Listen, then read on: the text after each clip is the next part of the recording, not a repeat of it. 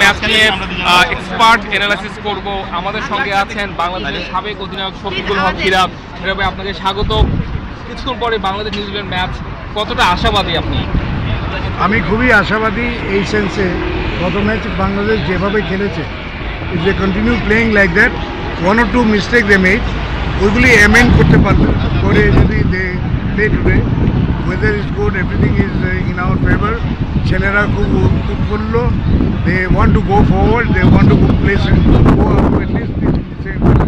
আমি মনে করি যে গত ম্যাচের মতো খেলতে পারে তাহলে আমাদের একটা বড় চান্স আছে আজকে হিরা ভাই যেটা হচ্ছে যে ব্ল্যাক ক্যাপ মানে নিউজিল্যান্ডের হচ্ছে বোলাররা দুর্দান্ত বিশেষ করে কালকে সবাই বলছে প্রথম দশ ওভারটা অনেক ভাইটাল কারণ তাদের টিম দাউদি রকি পারফুটন ট্রেন বোর্ড আছেন বোলিংটা কতটা সত- সতর্ক থাকতে হবে টাইগারদের অ্যাকচুয়ালি আমাদের weakest part is our bowling that is the reason we have to score over three hundred run তিনশো রানের উপরে করতে পারলে আমাদের ওটা ডিপেন্ড করা তখন ইজিয়ার হয়ে যায়। বোলাররা তখন একটু উজ্জীবিত হয়। যদি আমরা ব্যাটিং করি প্রথমে আর যদি তিনশো রানের উপরে করতে পারি, তাহলে কিন্তু ওটা ডিপেন্ড করা ইজ ইজিয়ার কারণ then you can have a different set of set up for fielding initial থেকে বাউন্ডারি লাইনগুলি যেখানে যারা উঠিয়ে খেলে, কোন লাইনে খেলে, এগুলি তো আমাদের জানা আছে।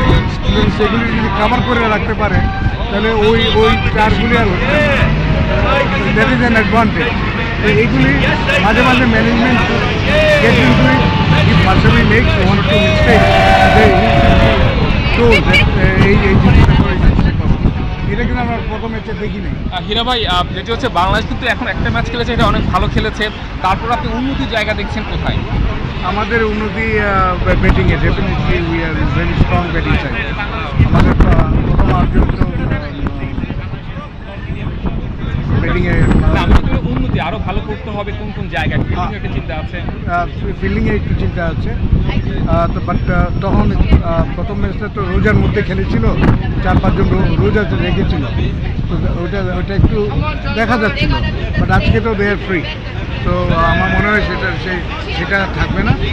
But catches must be taken even half half catches must be made into a catch হোক চার হয়ে যাক।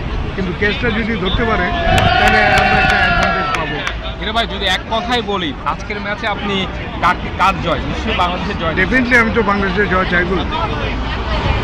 ধন্যবাদ হীরা ভাই আমাদের সময় দেওয়ার জন্য। হীরা ভাই বলছিলেন যে বাংলাদেশের কাছে জিততে হলে যদি আগে ব্যাট করে সেখানে তিনশোর বেশি রান করতে হবে এবং বোলারদেরও ভালো করতে হবে। আমরাও আশা করছি যে বাংলাদেশ নিউজিল্যান্ডকে হারিয়ে বিশ্বকাপটা আরও জমিয়ে দেবে।